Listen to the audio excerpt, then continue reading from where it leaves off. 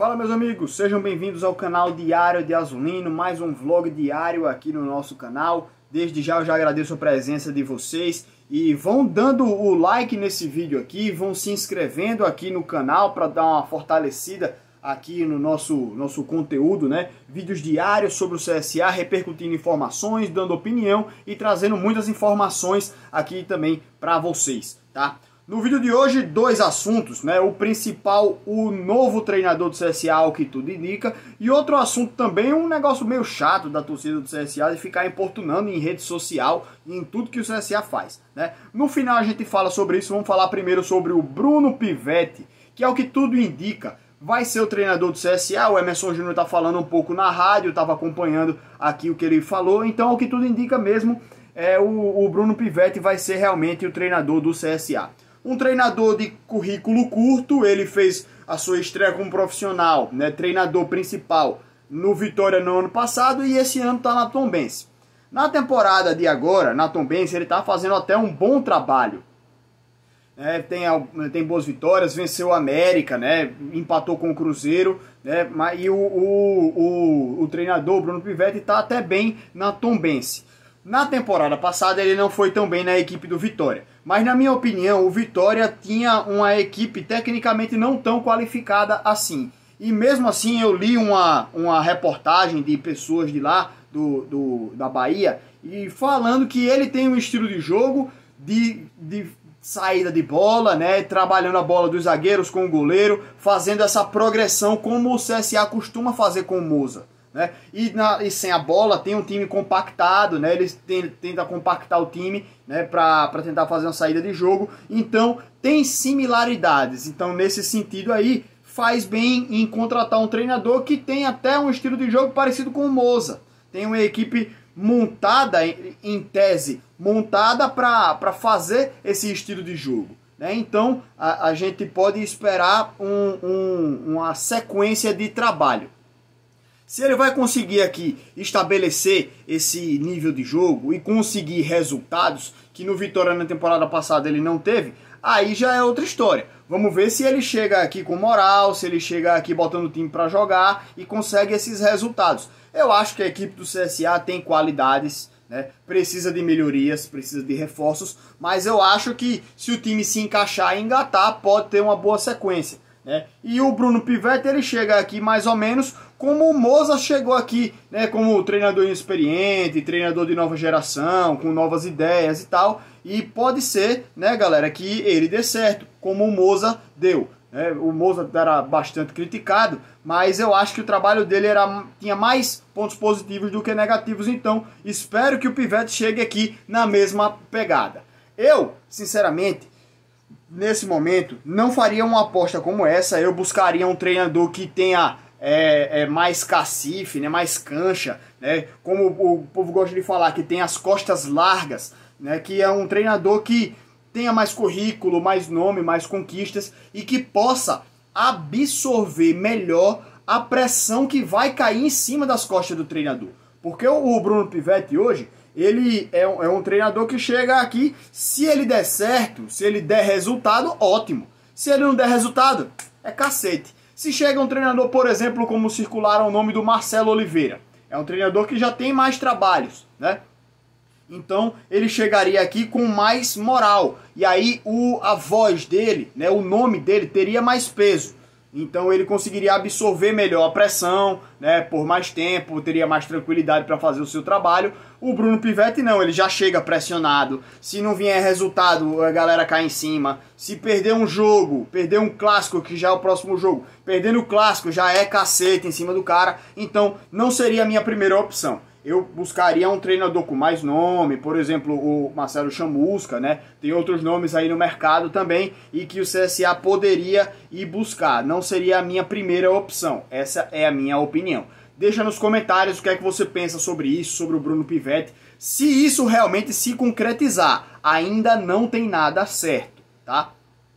O Emerson Júnior explicou toda a burocracia que aconteceu, né? Ele conversou com com o empresário do, do, do, treinador, conversou com o treinador. Então o que ele disse é que a galera confirmou que ele já vem mesmo e tal, mas não tem nada assinado ainda, certo? Então não podemos cravar. O outro assunto, galera, é de um negócio chato da, da torcida do CSA, que, bicho, é, no, o CSA ontem, se não me engano, postou um vídeo do time de CS que está disputando o Campeonato Brasileiro de eSports. Esportes, quem não sabe, são jogos virtuais. Tem CS, que é jogo de tiro, tem aquele Free Fire, PUBG Mobile, tem um bocado de jogo aí que a galera joga. E tem competições internacionais, competições importantes, competições com mídia. Tem campeonato de CS, campeonato de LoL, que tem mais visibilidade do que campeonatos de futebol. Tem mais gente que acompanha um torneio, por exemplo, de esportes, do que está acompanhando um campeonato estadual, do que está acompanhando, às vezes, uma partida de Série B. Tem mais visibilidade. Então, gente, é, o CSA não pode ser limitado apenas ao futebol. O CSA tem a equipe de, de futsal, né, que, que foi campeã da Copa do Nordeste. Aliás, quando o CSA foi campeão do futsal, né? Como é um, um, esporte mais parecido com o futebol, aí todo mundo caiu no pau em cima do perfil oficial porque não divulgou, porque não, não, não fez a imagem divulgando o título para ganhar mídia em cima disso. Mas na hora de um, um, um aí os caras metem o pau. Gente, o esportes, esportes eletrônicos, é uma plataforma que está crescendo muito e o CSA não pode ficar para trás nisso. Os times Brasil afora estão investindo na, na plataforma de esportes. E o CSA não está investindo, não está tirando dinheiro do, do futebol para colocar no esportes. Não, são parcerias. Porque quando você tem essa parceria, você joga o nome da sua equipe numa equipe de esportes. Quando ela joga, ela representa o seu time. Né? E só de eles terem o nome do CSA vinculado, eles recebem mais patrocínios, eles têm mais visibilidade naturalmente a torcida vai acompanhar, a torcida vai buscar. Então os caras conseguem buscar patrocínios, como o CSA Esportes tem o patrocínio da Velô, né? uma empresa de, de, de internet. Então eles conseguem os próprios patrocínios, né? eles têm a própria visibilidade deles. Estão disputando torneios agora com o nome do CSA, então isso é importante para crescer a marca CSA. E não é só parceria com esportes, não. Tem parceria com, com o handebol, tem parceria com basquete. Não sei se tem time de vôlei. Se não me engano, é, a, o, o, o Omar Coelho me falou uma época que eles estavam querendo parceria com o time de vôlei e outras equipes olímpicas. Né? Mas o time do CSA não pode só se limitar ao futebol.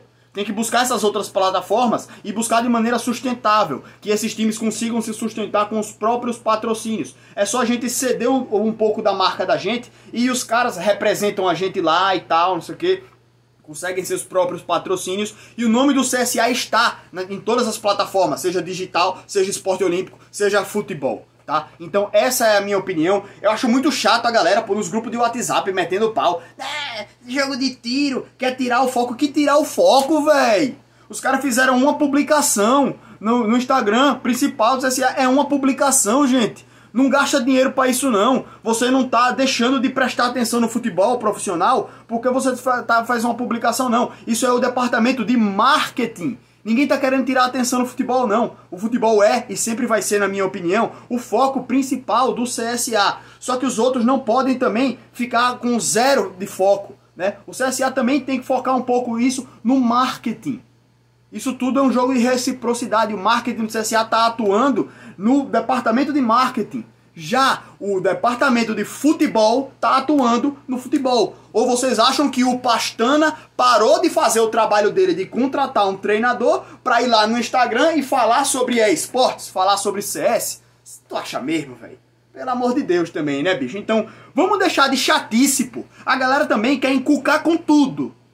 Desculpa eu estar tá exaltado, acho que esse foi o vídeo mais exaltado aqui do canal Diário de Azulino, mas é algo que me chateia, pô. Bicho, o CSA tá na plataforma, só isso, só fez uma publicação do marketing. Não parou de prestar atenção no futebol por causa disso, não, certo? Bicho, então, só um pouquinho de, de, de calma, galera. Não é pra tanto, não. Galera também quer brigar por causa de tudo.